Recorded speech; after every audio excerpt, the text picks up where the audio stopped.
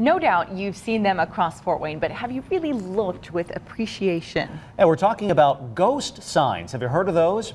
They're remnants of an older generation you'll find out in 21 country.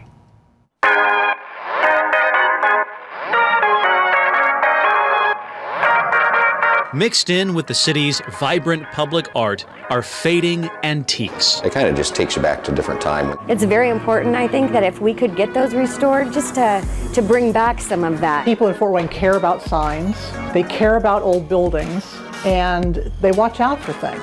Arch works to protect and preserve historic buildings, and in this case, what's on them. Every building owner which has a ghost sign on its on their building um, deserves a little respect because they have some thinking to do about it. Um, the easiest thing is just to say, I've got this cool old sign on my building. I'm going to, you know, let it stay, stay there. But things can happen that means they have to address that. A scenario playing out right now at two different businesses. This mural has been here since the early 1900s when it was John H. Welch and Sons.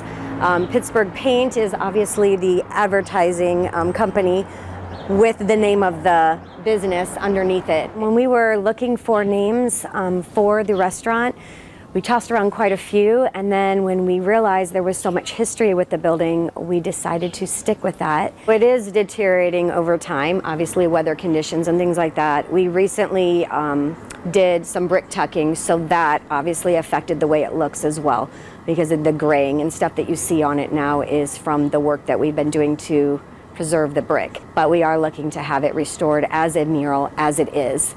That would be really awesome. You see signs like the one on Trubble Brewing that has both Coca-Cola and the name of the business on it.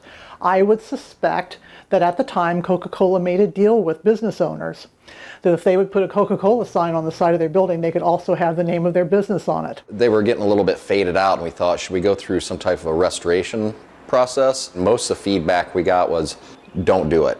You'll destroy the antiquity of it or the um, just that patina look. You know, one day if it doesn't get restored, it might go away. If I had to guess, in another 20 or 30 years, it just keeps getting more and more faded. I think it's just building responsibility to keep something around that's that's been here a lot longer than us, and um, it just adds a lot of curiosity to the building on what the past uses were for it. And though many remain legible for decades, others have nearly disappeared. Paint fades, bricks weather. These signs do change over time. An important reminder to treasure the history still standing today. The sign may be the only indication left of the building's original use. They can be just be beautiful works of art in and of themselves. And they can be local landmarks. No one, no, no place else has Fort Wayne's history.